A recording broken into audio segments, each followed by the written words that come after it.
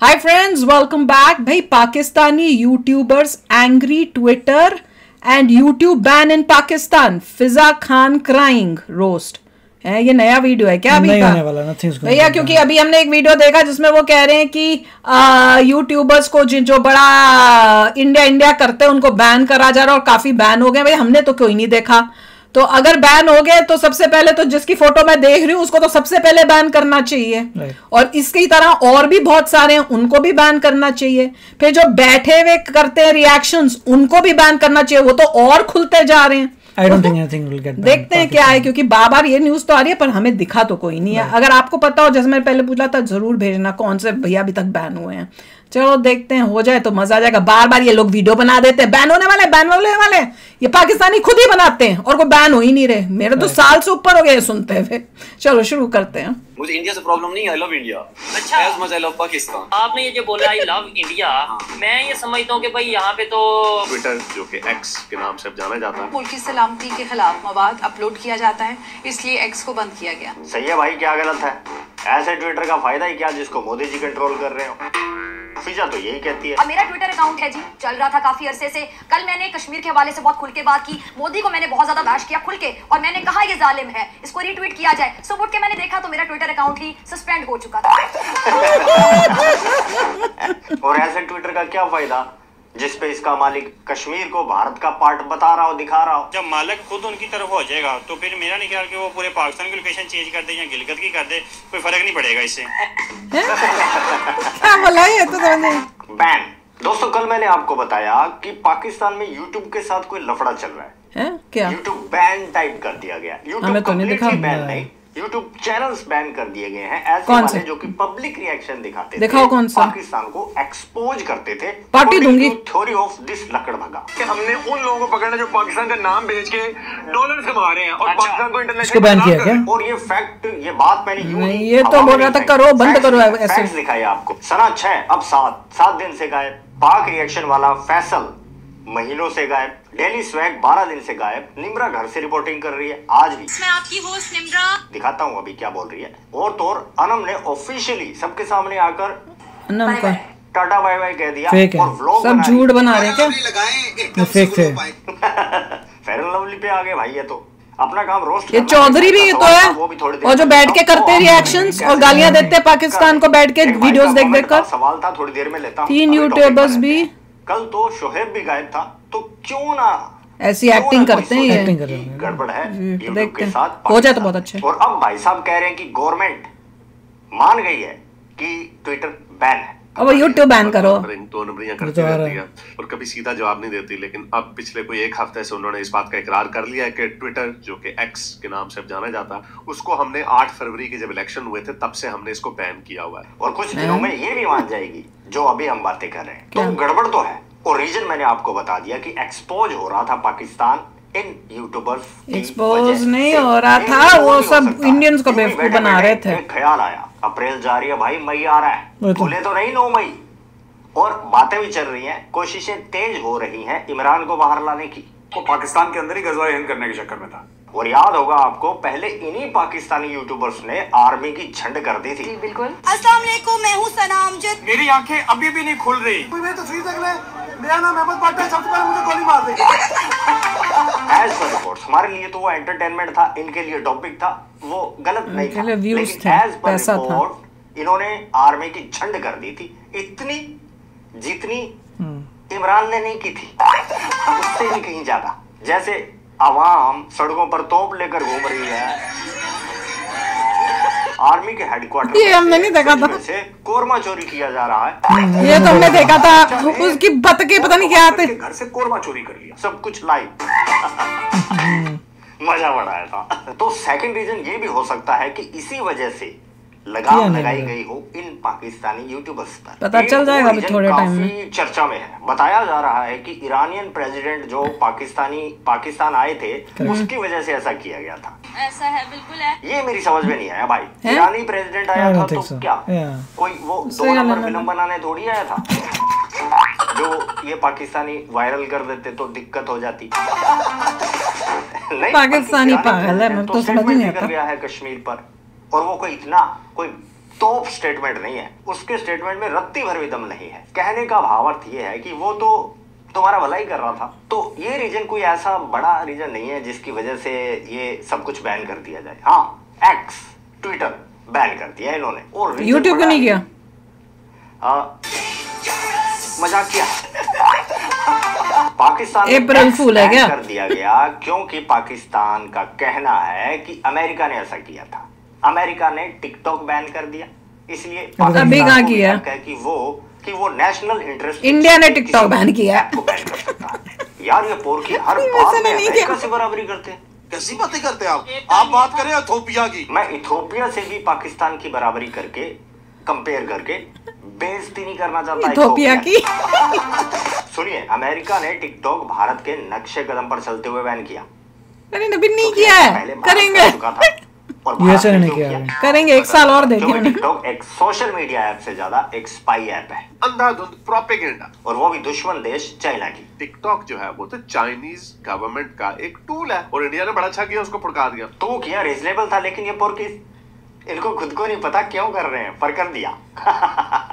कर दो बंद हमारा भला ही है उसमें। एक कमेंट लेना चाहूँगा। एक भाई ने कहा कि अगर ऐसा हो जाएगा ये चैनल बंद हो जाएँगे तो तेरा क्या होगा कालिया? किसका क्या होगा? पाकिस्तान और भी बहुत सारे काम है। हंड्रेड के वाले वीडियो में मैंने बताया है। मेन प्रोफेशन जो मेरा है वो कर लूँगा। सॉफ्टवेयर डेवलपमेंट और आपको अच्छा, जो इनके। टोटल छोटे से लेकर और बड़े चैनल इससे भी बड़े चैनल को सबको मिलाकर सत्रह चैनल है कहीं ना कहीं चला लेंगे। कुछ ना कुछ जुगाड़ कर लेंगे। और रही बात उनके 17 चैनल? पाकिस्तानियों को छीनने उन्होंने की उसका भी कोई ना कोई ज़रिया निकाल लेंगे। उसकी टेंशन मत लो। बात पाकिस्तानी चैनल्स की है। मैं बताता हूँ मेन रीजन भाई वहाँ मर्दों को पाकिस्तान में मर्दों को उतनी आज़ादी नहीं है। क्या freedom of expression freedom of speech होगी? देखा है। फ्रीडम ऑफ़ स्पीच की बात करते हैं ये मैंने तो नहीं देखा मैं है हमारे पास। बिल्कुल भी नहीं है। सबसे पहले क्या था? पाकिस्तान में सच बोलना आसान है मुश्किल है फ्रीडम ऑफ़ स्पीच के हवाले से फिर उसके बाद आगे बात करेंगे। नहीं नहीं सच बोलना तो यहाँ पे आप पुलिंग करा लें। है। 99 परसेंट लोगों का ये बिलीव है and out of experiences pass experiences के सच बोलना यहाँ पॉसिबल नहीं है कुछ लोग ये कहते हैं ना कि भाई आप जो मर्ज़ी बोलो हम्म। लेकिन कोई काम एंटी जो है ना वो इसी इसको तो ना करो किसी अदारे के अगेंस्ट ना करो। तो मैं ये कहता इसको तो सबसे पहले करना चाहिए। कभी कोई नहीं हो ना ही कोई किसी को होना चाहिए लेकिन अदारे में अगर कुछ गलत हो रहा है तो उसके ऊपर हम क्या बोलेंगे नहीं यार ये बड़े अच्छे अदारे से है, इसलिए इसके अगेंस्ट भी नहीं बोल नहीं अगर कोई ये बात कह रहा है ना तो उसकी बात में ही दोगलाहट है और वहाँ एक औरत वो भी भारत की तारीफ़ कर रही हो पब्लिक में। ज़ीरो लेवल सिक्योरिटी इस वजह से हुआ। अब व्लॉग बना रही है। लवली लगाएँ एकदम से ग्लो पाएगा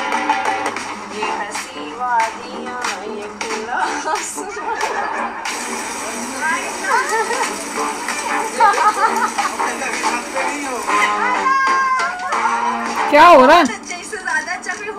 दोनों साथ ये में दोनों शादी की भी है क्या? इन्होंने भी क्या उल्लू बना रहे सबको क्या? आई थिंक सो सब ऐसे ही काम करते अलग अलग बताते ही नहीं है। सुबह उठते बर्तन धोते नहीं तो दोनों इकट्ठे कहाँ से आ गए? ये तो इतना पता ही नहीं था इनका कोई जान पहचान भी हमें। आदत नहीं जाती भाई। पहले से बाज इमरान पाकिस्तानी गवर्नमेंट आर्मी को एक्सपोज करती थी। अब अपने ही नए नवेले पति को किए जा रही है। मैं तो ऐसे बोल दिया था। कर लेते हैं। ईरान के प्रेसिडेंट ने जो स्टेटमेंट दिया है कश्मीर को लेकर। लोग पर हैं रे? इस भाई से सुन लो। क्या कहना चाहेंगे? पाकिस्तान और ईरान की जो म्यूचुअल एक स्टेटमेंट है कश्मीर को लेके क्या इससे इंडिया को कोई फ़र्क पड़ेगा? बिल्कुल भी नहीं। ज़ीरो परसेंट और इवन अगर आप ईरान की स्टेटमेंट भी देखें तो वो बहुत चाइल्डी स्टेटमेंट थी। क्या उन्होंने आपको ये कहा कि कश्मीर स्टांस में हम आपके साथ खड़े हैं? क्या नहीं कहा। कि कश्मीर के ऊपर बातचीत होनी चाहिए। लोगों की ओपिनियन लेनी चाहिए। एक होनी चाहिए एक उन्होंने एक चाइल्ड ये बड़ा चालू आदमी ये पता है बन जाती है। अगर हुआ- उसको चूज़ करना पड़े इंडिया और एक तरफ़ चूज़ करना पड़े पाकिस्तान। तो पाकिस्तान क्यों चूज़ करेगा? पागल है। वो तुम्हारे घर पे बैठ के तुम्हारी प्लेट में तुम्हारे टेबल पे खाना खा रहा है। यार इससे ज़्यादा अब क्या कहना तो वो कहते हैं चलो हमसाया मुल्क है खैर है. लेकिन अदरवाइज़ ऐसी कोई बात नहीं है कि वो ईरान पाकिस्तान के साथ स्टैंड करेगा अगेंस्ट कश्मीर ना अन्य ठीक पाकिस्तान क्यों चूज़ करेगा? वो पागल है। सुन लिया पाकिस्तान भी तो वही कहता पागल होगी पड़ गई ठंडक। मुझे इंडिया से प्रॉब्लम नहीं आई लव इंडिया अच्छा। पाकिस्तान बराबर ही मैं नहीं हाँ आई डू नहीं इसके ऊपर भी आपके ऊपर एलिगेशन वैसे लग सकता है। लगेगा। कि आप पाकिस्तान में बैठ के आपने पैसे कमाने के लिए बोल रहे हो तुम। मैं ये समझता हूँ कि भाई यहाँ पे तो आपको अदारे बुला लेंगे कि ये आप पाकिस्तान में बैठ के क्या प्रमोट कर रहे हैं? इफ़ यू लव इंडिया तो बोलो पीओके इज़ इंडिया तकरीबन 99 परसेंट पाकिस्तानी करते हैं। तो हमारी रूट्स हैं सेम कल्चर है सब कुछ अभी शादी से हूँ, अच्छी सोच इनकी। अच्छा। ये मेहंदी क्या हमारे कल्चर में है? नहीं आप कहाँ से लेके आए हैं? इंडिया से लेके आए हैं। इस्लाम में है मेहंदी? ज़बरदस्त हो गया। बढ़िया बढ़िया। आप कमेंट करके बताइएगा क्या आप भी मेरे वाली कैटेगरी में आते हैं? लेकिन अभी इस भाई और मुझमें एक छोटा सा फ़र्क है। आई लव इंडिया अच्छा। As much I love Pakistan me too love India I don't love Pakistan as much as I hate- Pakistan वो तो पैसों के लिए कर रहे हैं झूठे है बस आज के लिए इतना ही। मिलते हैं नेक्स्ट वीडियो में। जय हिंद जय भारत। यार मुझे ये बताओ कि हम इंडियंस क्या इतने सीधे या भोंदू हैं कि इन पाकिस्तानियों की चुपड़ी बातों के अंदर फंस जाते हैं और सोचते हैं ये बंदे सच्चे हैं जो इंडिया की बड़ी वाहवाही करते हैं, मोदी के भक्त बने हुए हैं और इंडिया के साथ प्यार और ट्रेड और ये सब दिखाते हैं। इंटरव्यू लेने वाले और इंटरव्यू देने वाले जो बड़ी प्यार मोहब्बत की बातें करते हैं। आपको क्या लगता है, ये सच्चे होंगे? ये सब व्यूज़ के लिए कर रहे हैं भैया, किसी को समझ क्यों नहीं आती है?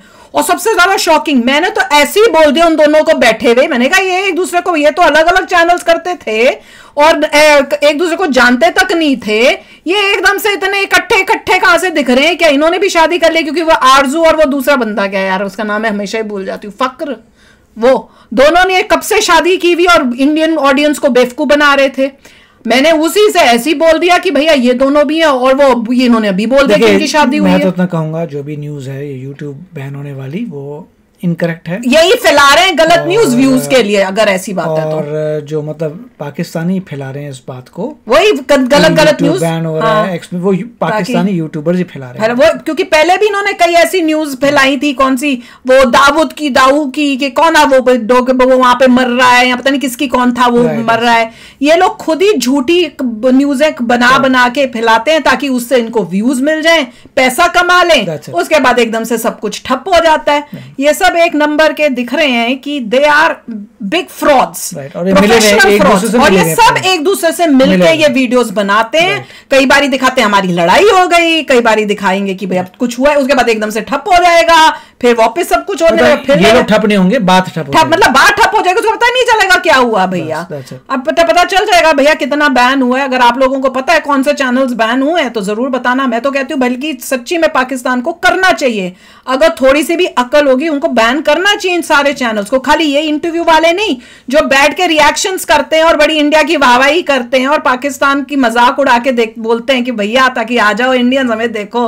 हम तो हम अपने ही पाकिस्तान का मज़ाक और इंडियंस भागे जाते हैं कि भैया पाकिस्तान का मज़ाक उड़ाते हुए देखें पाकिस्तानी को। ये नहीं पता, वो एक नंबर के एक्टर्स हैं, उन्हें पैसे मिल रहे हैं। वो घर बना रहे हैं अपने बड़े बड़े और यहाँ बैठ के दिखा देते हैं कि भैया और उनमें से मैंने कई बार नोट किया कि देखो कोई अपने ऑडियंस के लिए जो है जब अच्छी कमाई होती है तो वो कहते हैं कि हम अपने उसको और बेटर करें अपनी ऑडियंस की प्रेजेंटेशन के लिए।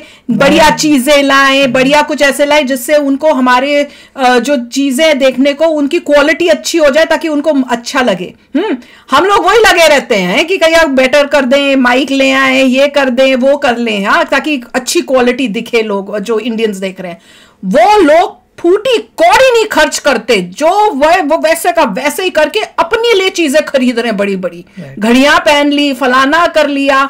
अब उन्हें ये पता है कि पकड़े जाते हैं तो वो अब हटा देते हैं। वो उनकी दूसरों से पता चलता है कि भैया ये तो ये कर रहा है। जब कमेंट्स में आते हैं ईमेल्स आती हैं मुझे मैंने कहा वाह पर अगर हो जाए ना तो भैया पार्टी करने वाली हूँ मैं तो। जल्दी हो। ताकि इनकी कमाई तो बंद होए मैं तो मैं तो वेट कर रही हूँ कि इनका बट्ठा बैठे। चलो यार आप भी शेयर करना अपने थॉट्स चलते हैं। मिलेंगे नेक्स्ट वीडियो में। बहुत ही जल्द। Till then take care and bye तो अगर आप मेरे इस चैनल पे नए हो तो जल्दी से सब्सक्राइब के बटन को हिट करो और बेल आइकन को क्लिक करो ताकि आपको मेरा जब नया वीडियो मैं लगाऊँ, आपको उसके बारे में जल्दी से पता चल जाए।